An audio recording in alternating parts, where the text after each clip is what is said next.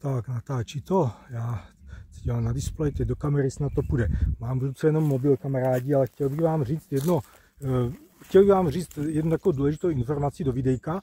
Eh, já jsem to chtěl točit až někdy, až někdy prostě později, ale mám teďka na to náladu, jak to řeknu aspoň na mobil a já se budu pár hodin pohybovat po lesích přes noc, tak ale budu asi v signálu, tak snad se vám to nahraje na YouTube a aspoň o tom budete moct přemýšlet uh, už teďka třeba na víkend. Uh, mám takový pocit, že třeba někomu z vás by si to mohlo hodit a mm, zejména vašim partnerkám a pokud bych pomohl zachránit jedinou, jedinou z vašich partnerek, tak si myslím, že tohleto videjko splní účel.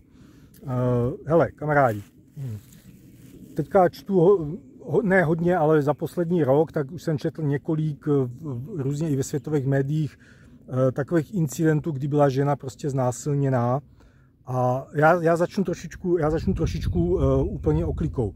Já když jsem byl na tím ruském výcviku, tak vlastně tam nás Rusáci učili, že když, když jde člověk i, i někde třeba jako čurat, třeba v hospodě nebo kdekoliv, kde prostě na záchod, tak to je takový místo, kde člověk aut, automaticky uh, je hodně bezbraný. Um, jde vykonávat tu svou potřebu, takže má plný močák, je takový um, není úplně ideálně připravený k boji, chce se mu prostě čurat, rozepne si kalhoty, takže ne, jo, jako ani, ani ten oblek není úplně ideální prostě na boj, otočí se zádama do prostoru a čelem ke zdi, takže nevidí, nevidí hnedka jako co se děje, nebo jo, prostě to ohrožení.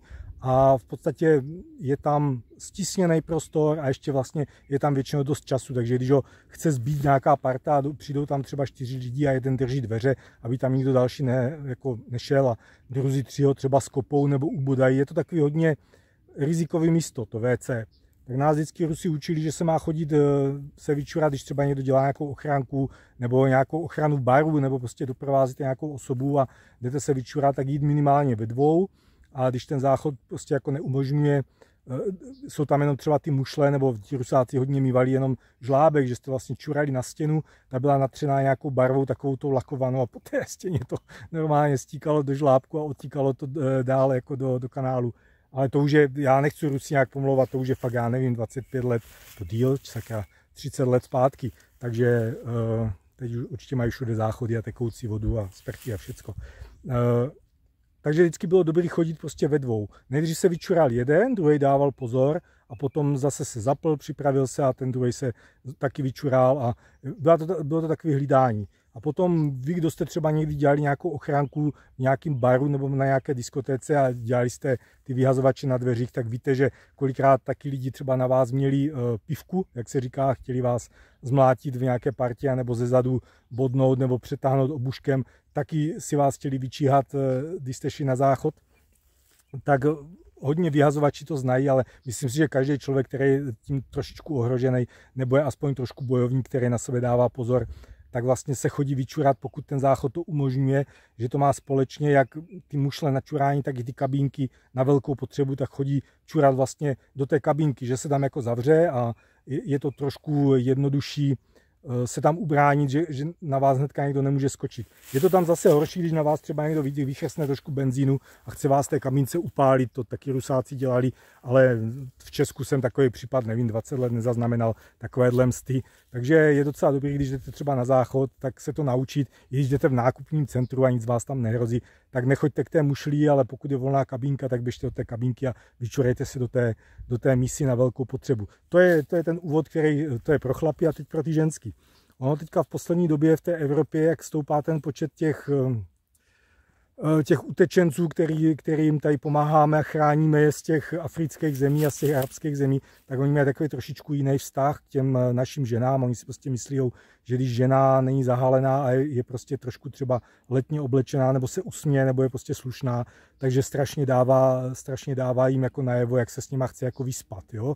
Takže Oni to berou tímhle tím způsobem a někteří takový, někteří takovýhle lidi se prostě naučili, že nejjednodušší způsob, jak se dostat k bezbrané ženě, tak je schovat se na ženském záchodě. Takže eh, několik těch případů problesklo těma českýma médiema, že vlastně žena jde třeba s partnerem nebo i dítě, jo, prostě malá holčička jde s tatínkem, jdou nakupovat nebo jdou někde se projít po městě a ona si odskočí na veřejný záchodky se vyčurát a tam už někdo čeká a tam jako prostě tam ji ublíží. Já nechci říkat to slovo, víte, o co všichni jde, aby mě to zase YouTube tady nebanoval, protože on chce být takový korektní, ale víme, o co jde. A těch případů je velké množství do těch hodně jich není nahlášený, protože ty ženy se stydí, jo? tak jako ona je ráda, že to přežije, že prostě si prožije těch svých ty své tři minuty hamby, protože těm chudákům to zase tak moc dlouho jako netrvá, ale je ráda, že už třeba přitom nikdo nepořeže, nepobodá, ne, neumlátí a radši třeba drží pusu a kolikrát se ani nesvěří, nesvěří tomu partnerovi. Je to strašný. A myslím si, že tohle to bude přibývat od těch, od těch lidí, kteří k nám přišli eh, pro pomoc do Evropy a na který v některé ty země tak strašně spolíhají. A já to nechci jako, já to nechci nějak zhazovat tohleto video. Chci vám to říct čistě technicky. Pokud jste chlap, máte partnerku nebo máte dospívající dceru nebo jim malou dcerku, tak je docela dobrý je naučit už teďka formou hry, nebo jim puste tohleto video, Dago to říkal, poslechni si ho, není to úplně špatný.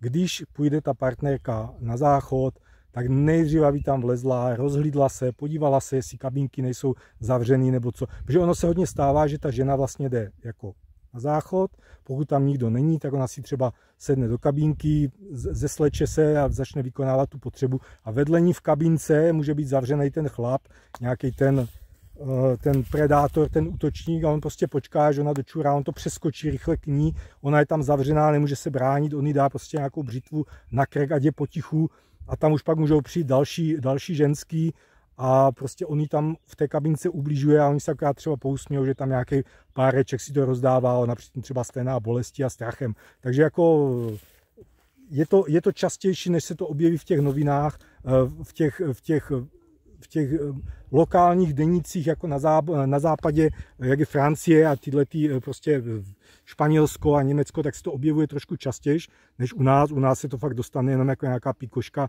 do těch zpráv, ale je to relativně častý a myslím si, že takovéhle ohrožení bude, do budoucna může přibývat.